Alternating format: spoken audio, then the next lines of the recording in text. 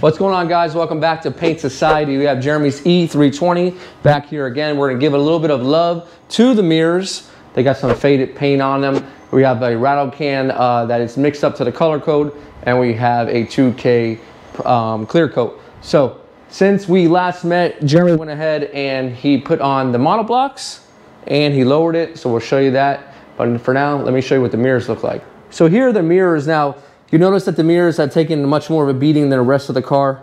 That's for a couple reasons. First off, it's plastic. So what that means is these are possibly painted in a different facility.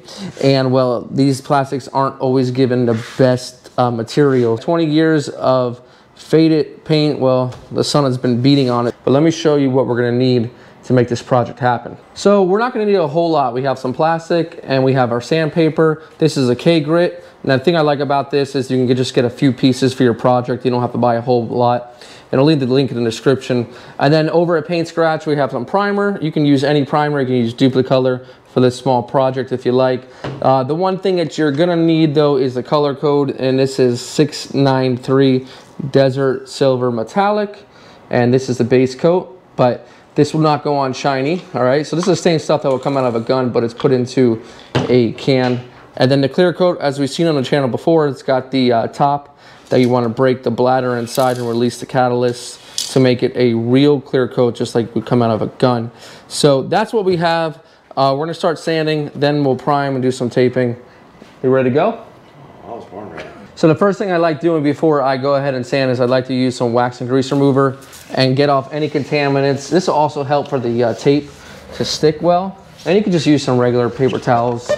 This way we're not sanding any of that wax or grease into the car or into the paint itself.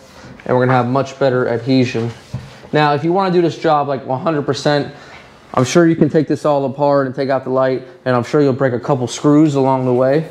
Right here, we're just trying to make this look better, so we're gonna end up taping this off in the gasket as well.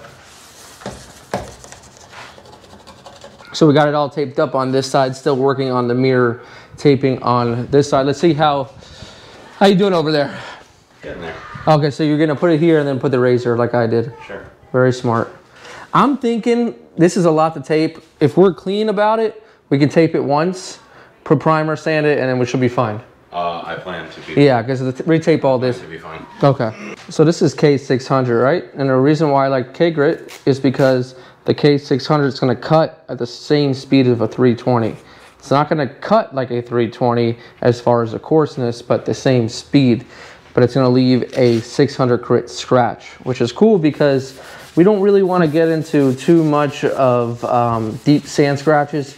We just want to pretty much smooth out the uh, finish of this mirror and put some primer on it. So all we're looking to do is on this edge right here is take this line and, and what we call feather out.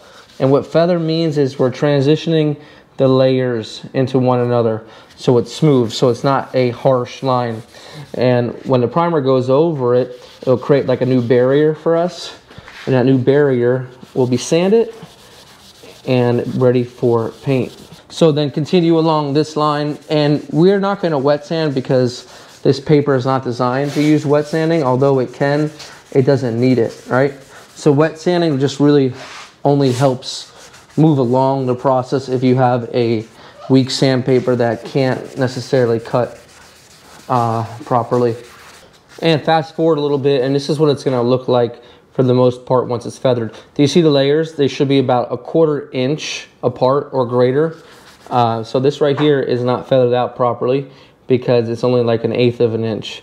So to make sure it's smooth enough, you want to make sure those layers are about a quarter of an inch thick. You do the best you can. So Jeremy is using his surf prep. Although you can use it by hand, this does help out a little bit. His surf prep sander, and the cool part about it is it hooks right up to your wall socket, so you're good to go. And his wasn't as bad, but I think I gave myself the one that was a little bit harder. You're the pro. I'm the pro. But right here, you see this right here? It's a little chip. You gotta feather that out. So it, it smooths out completely. All right, so see how it's feathering out now? It's becoming a part of it. If you don't feather that out, then it's gonna be like a little bit of a chip and the primer's not gonna fill that. So keep on going, you're doing great. So we have our primer, we're ready to go. This is a uh, product that can be used over plastic, metal, aluminum, many other substrates as well. I like to do light coats. Don't try to cover it all in one. So five minutes have elapsed and we're gonna put on a second coat, just as light. We'll let that sit for another five minutes. And third coat, just five minutes later, we can go a little bit heavier. We wanna make sure there's full coverage. Uh, we wanna make sure we don't see any of the plastic. Now we don't need to primer the whole entire mirror. We only need to primer where the parts that we sanded down to plastic were. So the areas that like say underside or the front side of the mirror that still have good paint that we scuffed, we can leave those. We don't need to actually primer it all. And I'll show you that right now. So if we come along to the front side, you can see that this has got maybe some overspray, but it doesn't need, mean it needs primer in order for uh, paint to go on it. This is actually good paint still and underneath. So once this dries, we'll hit it up with a 800 grit and then it's ready for our base coat. And on Jeremy's side, that is such a novice spray pattern. I love it. Just want to make sure the angle's ready. So perfect. First coat looks right, not too much. Five minutes, same routine. And we skip ahead to the third coat. And just a little bit heavier on that third coat. We want to make sure we can't see any of the plastic coming through. And I think we are good to go. We'll allow this to dry for a good half hour. We want to make sure it's totally cured. It does say an hour in the directions, but uh, down here in South Florida, things dry a little bit quicker. We're ready to sand the primer. The primer is dry. You can even use black spray paint. You don't need to necessarily use this one. It's just a little bit easier to sand. So we're ready to go. Guide coat's on there. Hey Brian, it's 2021. Can you also use a lady coat or does it have to be a guy coat? It's guide coat, not guide coat. Oh, guide coat. yes. And we're using K800. It's a step obviously above the 600.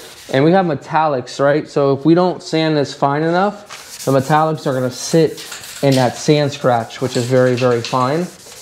Um, and we wanted to make sure it's not gonna show. So this is why we use a very, very fine sandpaper for the job. And again, you don't need to use water. This paper is designed to cut and that is just what it's doing. After sanding, it's gonna look something like this. You might have some burn throughs. You don't need to re-primer that. The base coat will be fine. We know that they're 800 grit, so it's not gonna be a problem. If this was much rougher coarse, then I'd tell you you need to reprime it, but it's gonna happen. Don't worry too much about it. Use a little bit of wax or grease remover. Just using a microfiber this time to make sure it's nice and clean. And now we're ready to shake up our base coat and get rolling.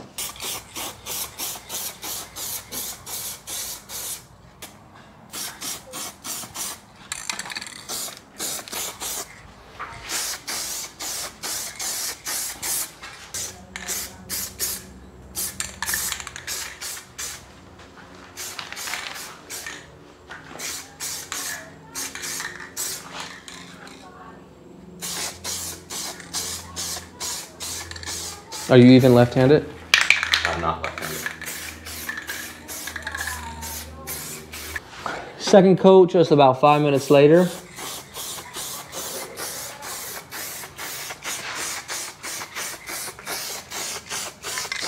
On the third coat, I don't need to go um, as heavy. And I like to stop, stop, stop.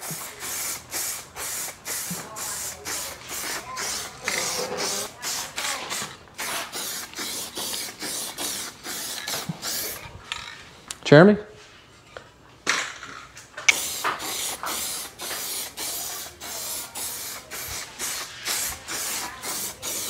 So this is a clear coat we're going to be using. Eastwood makes it as well as Spray Max. Now this little cap right here, once we put it on this stem, it's going to puncture the bladder. It's going to release the catalyst. So once the catalyst and the clear coat combine, you have a regular clear coat. It takes a little bit of force and you got to put it on something hard so that you can break the uh, bladder inside. Wow, I wasn't lying.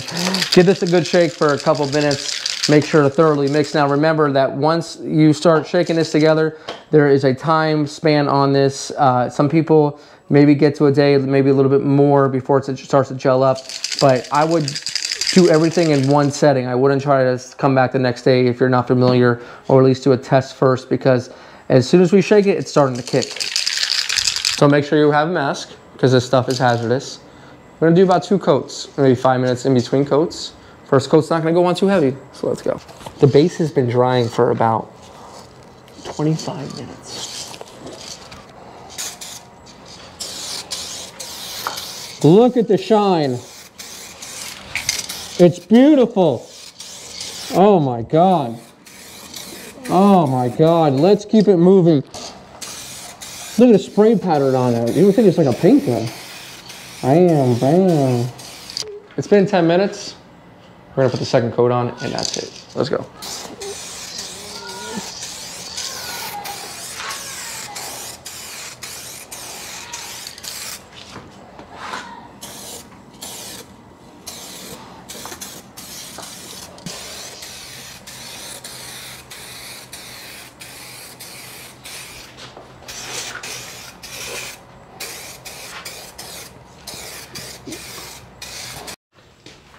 So it's been like 10 minutes since we sprayed it and there's like a slight haze still right in this area. Now we're painting at night, so it's not gonna dry as quick. So give it a little bit of time to really dry. Two coats is all we need. It's got a, it's got a beautiful gloss to it. And the color match isn't perfect. It's a little bit lighter, but it looks a hundred times better than what it was.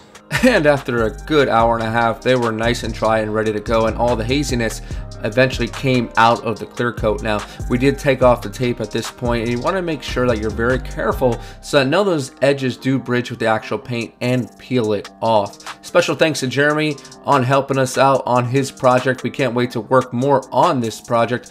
And, well, some daylight shots of these mirrors will reveal that they matched pretty well. Guys, don't forget to check out paintsocietystore.com to pick up all the latest merch in the merch store. Guys, this is Brian from Paint Society reminding you, don't overthink it. It's just paint. We'll see you on the next one.